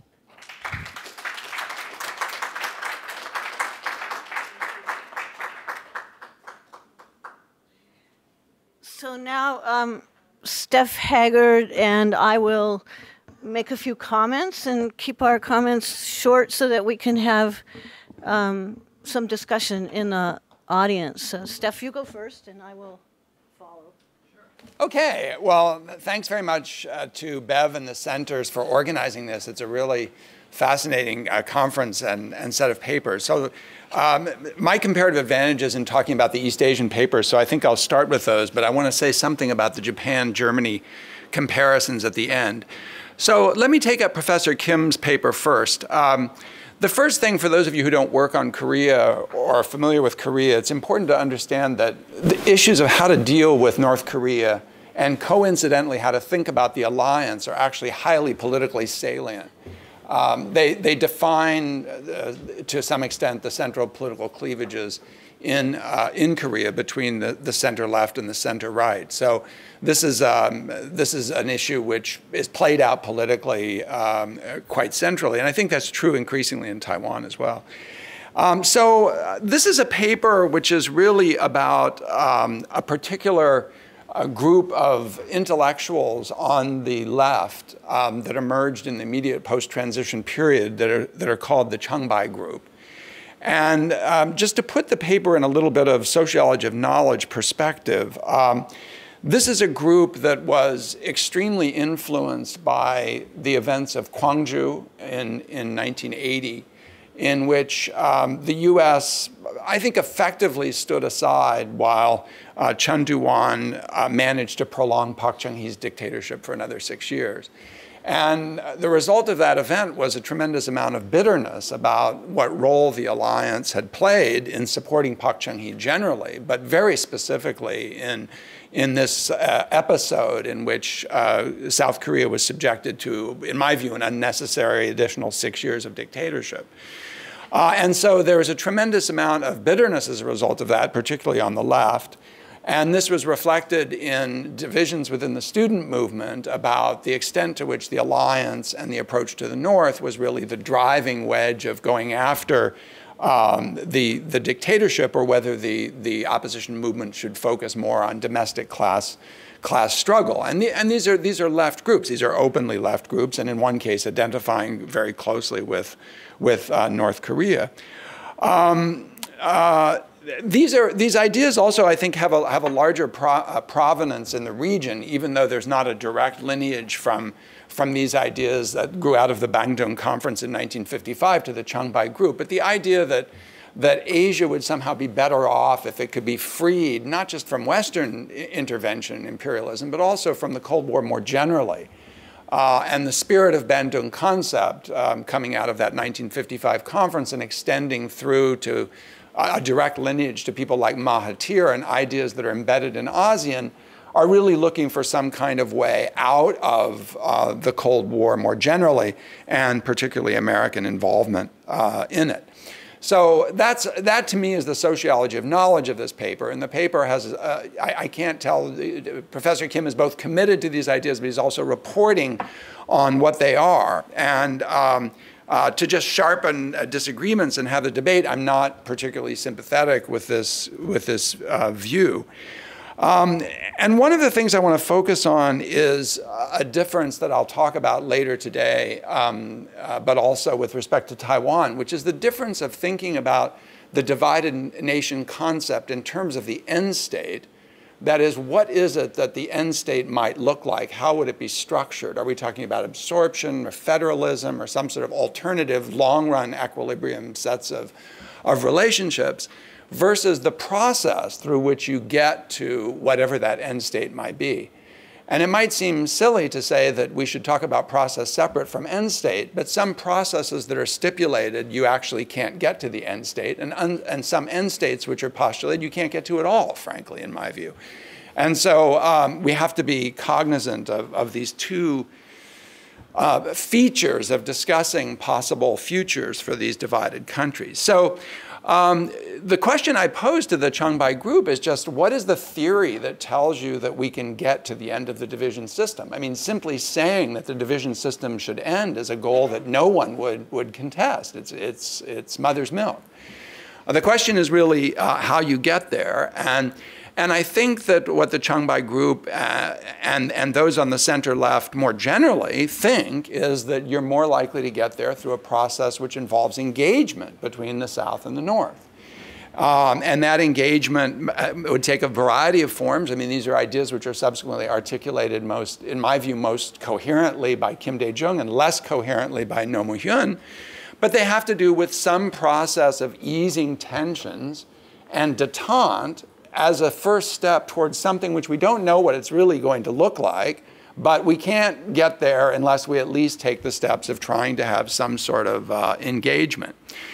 Now, um, uh, the current incarnation of this idea, which I think enjoys support beyond the type of groups that uh, Professor Kim talks about in his paper, is the idea that's been proposed by the North and picked up by some prominent intellectuals in the South, including my good friend Chung In Moon, which is that we should move towards the signing of a peace treaty on the peninsula.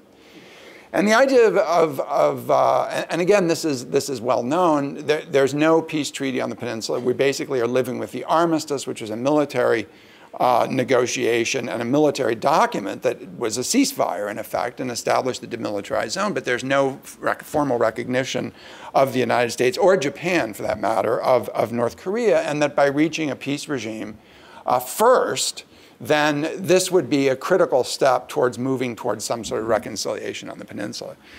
Now, uh, the first thing I want to say about this, and I, I you know, uh, pardon me for being blunt, is this is not going to happen. It's just not going to happen because no American president is going to sit down uh, and negotiate a peace regime with North Korea in the context of North Korea continuing to maintain its nuclear program. It's just not going to happen.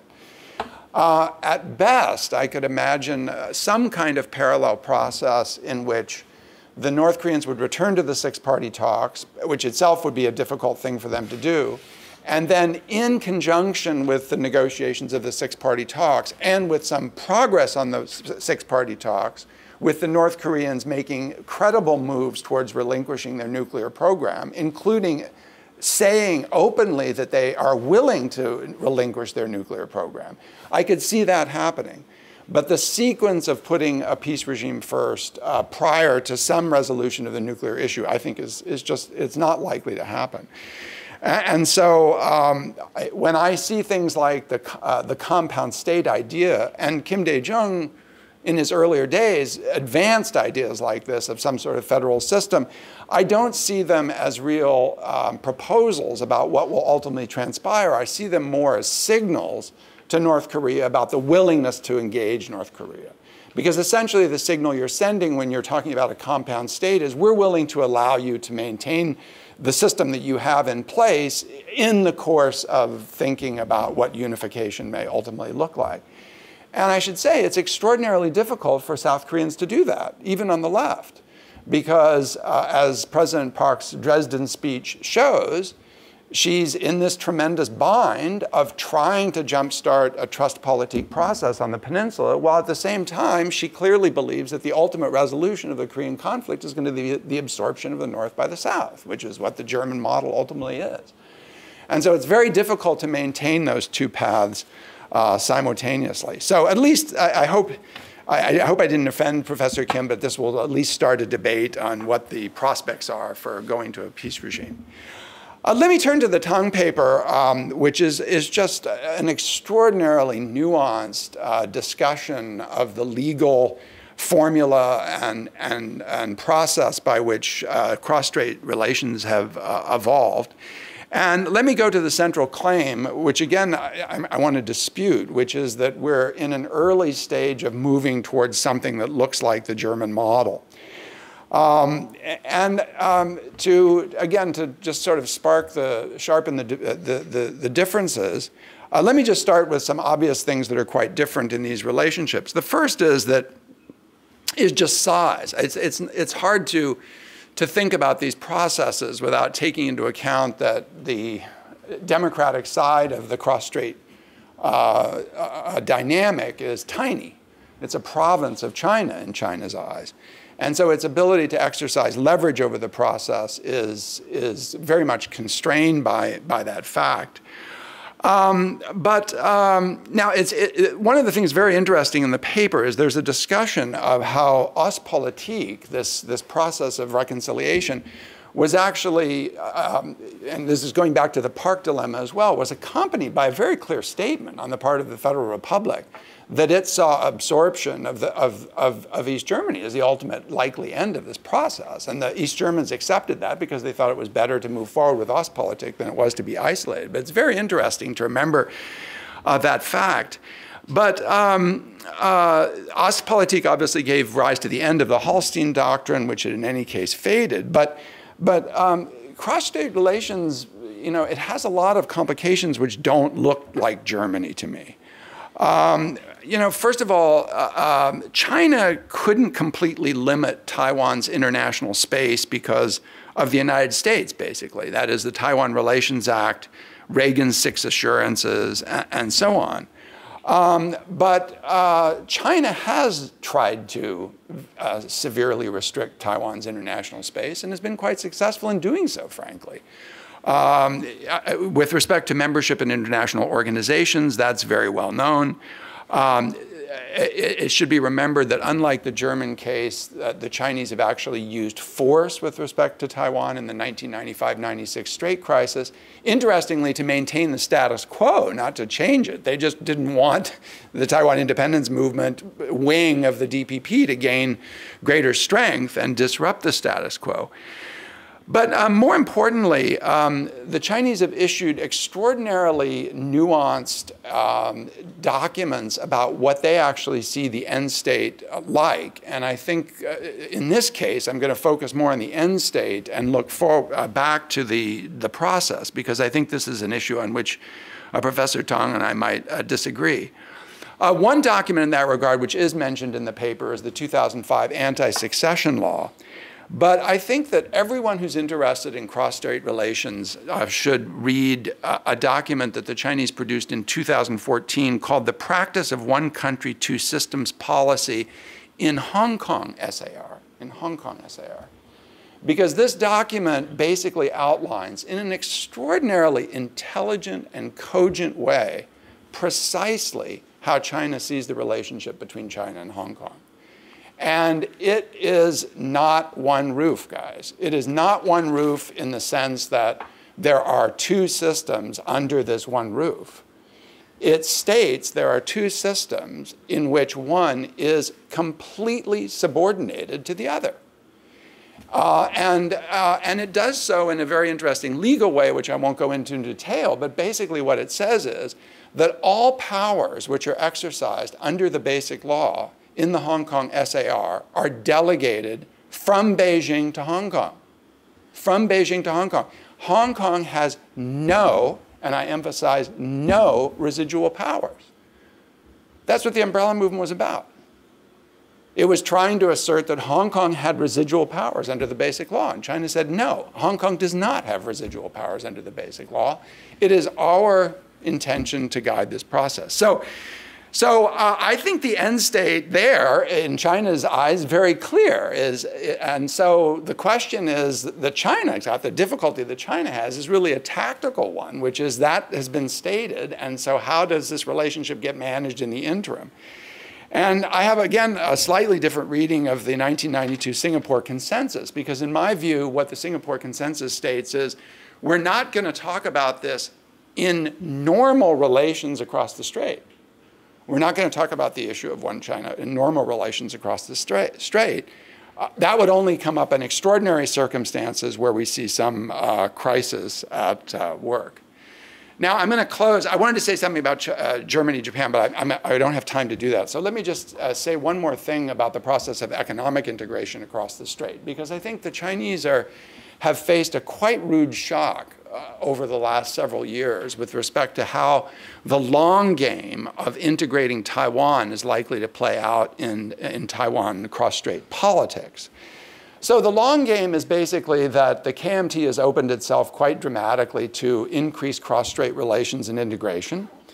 And um, that has created this period of tremendous, you know, goodwill in cross-strait relations. And the reason this meeting is taking place this next week, in my view, is because the Chinese leadership is very concerned that that might be disrupted, and they want to use the meeting to lock in commitments that had been made under the Ma administration into the DPP period, which is almost certain to transpire, at least if the polls are currently right.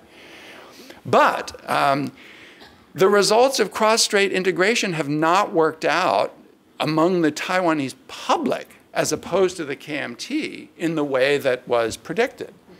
Number one, more Taiwanese, uh, and by Taiwanese I mean citizens of the ROC, identify themselves as Taiwanese than they did six years ago. And you show this very clearly in your paper. I mean, it's really interesting. Those who say we're Taiwanese going up, right? Uh, number two, um, familiarity, uh, as much as I believe in student exchanges and the like, doesn't necessarily lead to us thinking that these other people are like us. It makes us realize that they're different from us, which is a good thing in my view. That's fine, you know, but not if you're a one China person.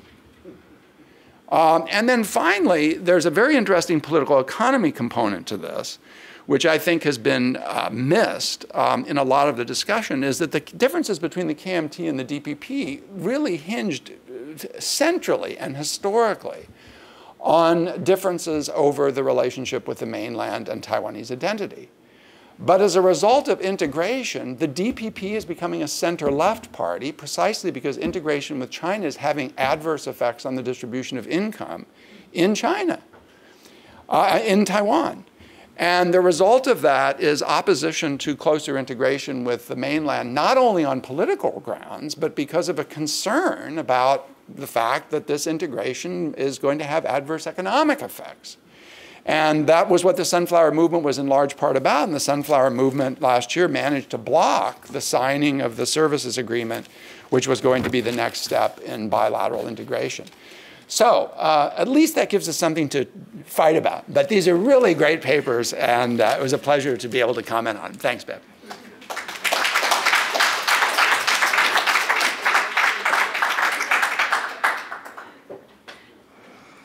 Thank you, Steph. I, I am going to be short. We're, we are running out of time. Um, although everybody kept to their time, it just takes a long time. And so I, I think that um, Steph said a few things that I actually wanted to say, so I can make my, my comments more brief. But I wanted, I wanted to actually, and my comparative advantage is the German case, of course, but I was fascinated by these, by these two papers that dealt with the Asian case. And it strikes me that if I start with Professor Kim, this division system, the paper was inspiring to me, despite the criticisms that Steph had. They, I, I, was thinking this division system is never talked about in the European context when we're talking about about Germany, and I think there was there was so much. Uh, overlap between the division systems and this division system idea really explains a lot of what happened during the Cold War and in, in Europe. And so, even though this is an Asian perspective, it really does relate to Europe. I, I think it does, especially in the Cold War. We had um, we had bipolarity and hierarchy. The US and the Soviet Union were the superpowers, and beneath them were were their alliance alliance partners. And Germany had to operate within that division system. And it also, that system reproduced national division, as Professor Kim said. So, so in a way, um, it was the Cold War, the beginnings of the Cold War that led to the division of Germany, and the division of Germany that actually intensified the Cold War. And so these, this division system became more and more and more in, entrenched. Also, um, because this panel is about the impact of division on stability, I think we should look at the Cold War as fostering tremendous instability in the world. Many observers want to wax nostalgic about the Cold War and the current situation and, you know, long for the Cold War to come back. But in fact, um, it wasn't really a stable system with two, two powers balancing each other. In the periphery of the periphery, to use Professor Kim's language, um, we, had, we had tremendous wars. Um, from, from Vietnam to Laos to Cambodia, Angola, Nicaragua, Lebanon, I could go on and on. In Indochina alone, five million people lost their lives. And when you look at the periphery of the center, that is the United States and Europe, this division system was was dominated by the threat of nuclear war, uh, mutual assured destruction, MAD, which was supposed to be considered a um, a stable system um, eh, because you know we were there was a standoff and there wasn't a nuclear war. That doesn't prove that couldn't have happened. It could have happened at any point, and we all lived under that illusion that it couldn't happen. Um, and hundreds of people died trying to escape from the East. We had the whole surveillance system in both East and West Germany, and repressive police system. So this wasn't necessarily a stable, the Cold War wasn't a stable system. I think if Professor Kim would would take this Changbi group's arguments and apply it to Europe, it would it would have really been a good a good description. Um, and I would like to know if you would agree that it could apply, even though you have said that it's just an, an you know it's an East Asian perspective. Um, the prescription for peace Steph talked about this a little bit.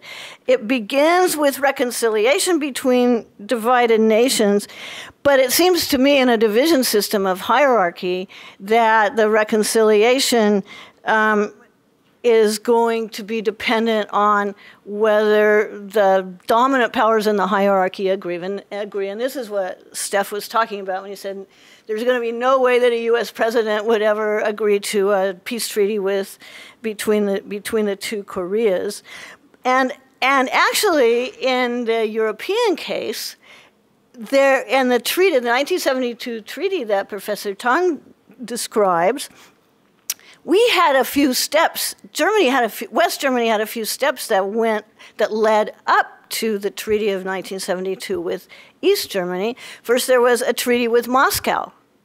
So West Germany uh, approached the other superpower. Then there was a treaty with Poland. And finally, there could be a treaty with East Germany. So within the, the hierarchy of the division system, West Germany played its cards right. However, the interesting thing is that, that Brandt did not deal openly with the United States about his Ostpolitik. So he went around around the backs of Kissinger and, and Nixon and others to to deal with East Germany and did not ask permission. Um, and I think and, and Kissinger was very angry about this. This was also this was a period in which détente was flowering, but nonetheless, um, he did make a bold move to overcome the larger division system and confront the hierarchies.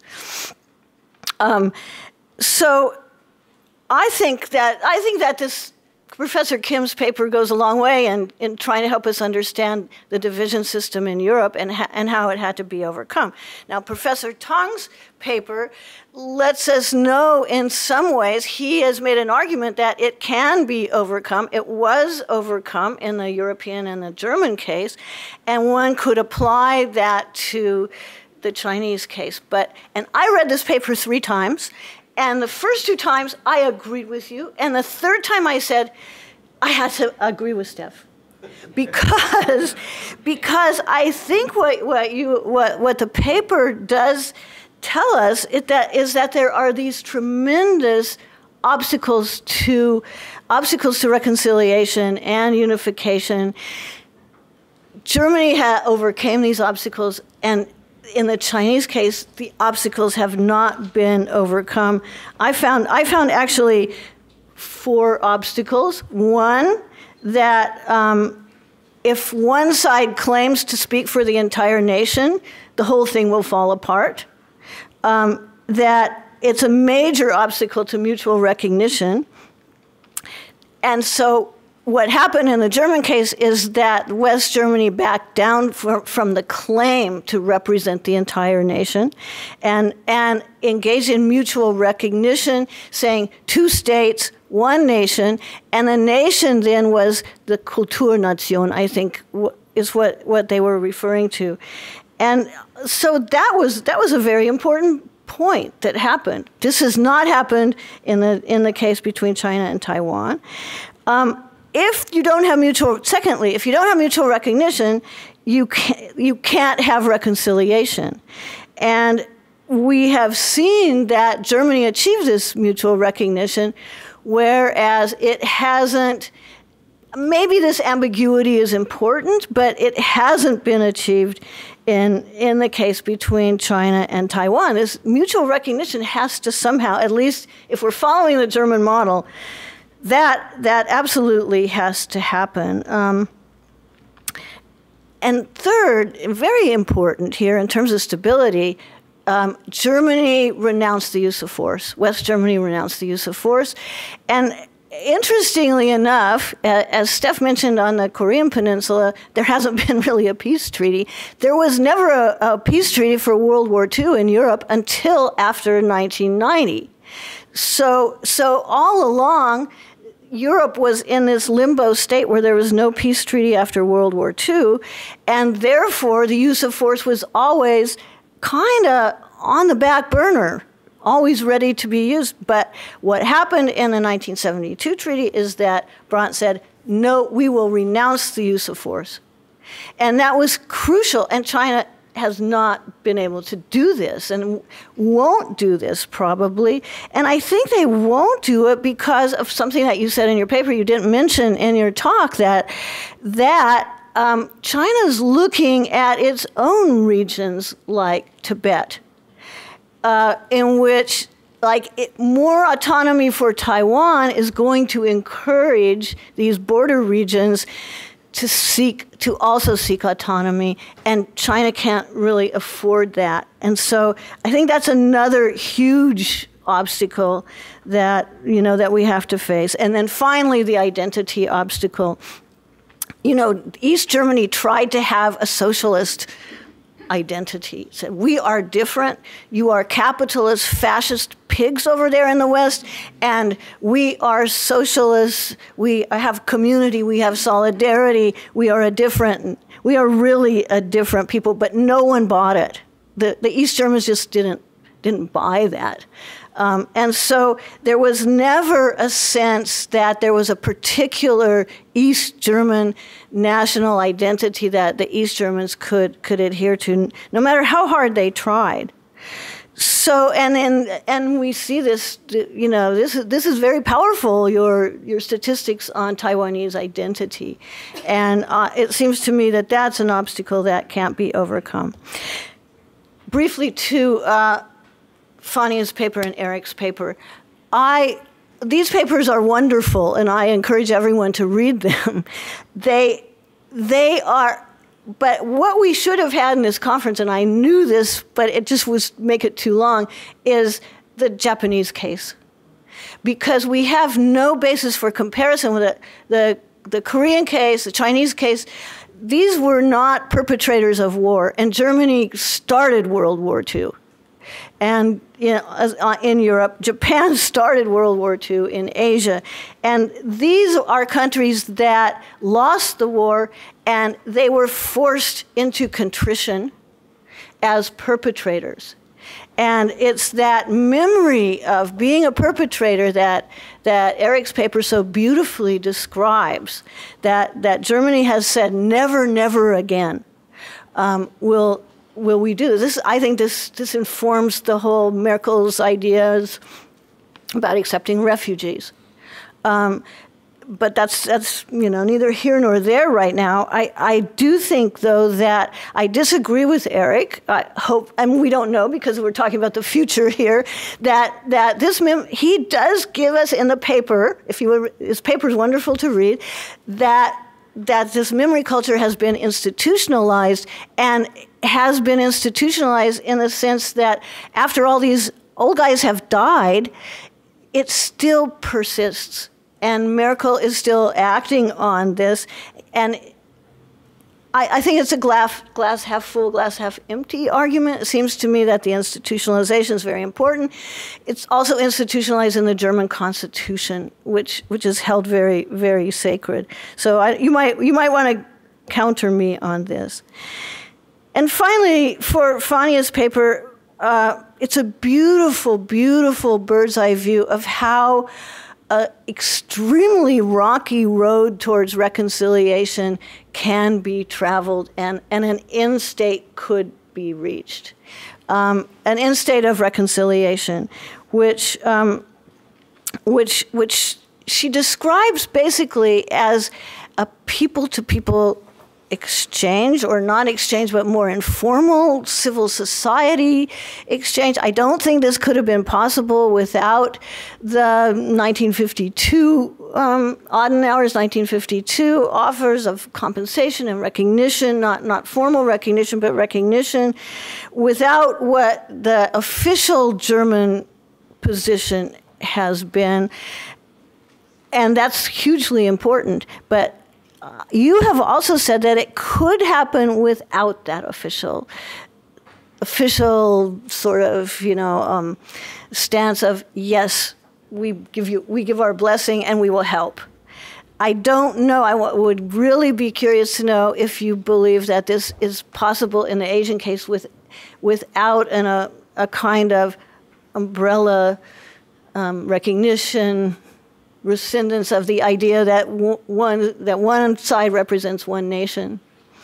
Um, and so I think I should stop there, and we should have a few questions before. And I won't let you guys um, respond yet, but because I want to get people from the audience to maybe ask a couple of questions, and then we'll see if you, we can respond. Anybody? Or maybe you're just you just would like like Okay, yeah. Could I just raise a, uh, I think raise a general kind of, of challenge that would involve dialectical thinking, but I think it makes a lot of sense to. Uh, it's not on. I, I, I think it makes oh, a lot of sense to uh, use the German unification model as a lens to look at these Asian crises, like the China Taiwan crisis. But why not, for purposes of dialectical comparison, also use the Soviet Union model? I mean, why wouldn't it make sense to think about China actually dividing up into separate states? Taiwan would be one state, Tibet would be another, and so on. I mean, it seems to me that maybe the process of getting there is difficult, but why, why wouldn't that be a reasonable comparison, too? Interesting comment. Anybody else? Yeah. I think Hans.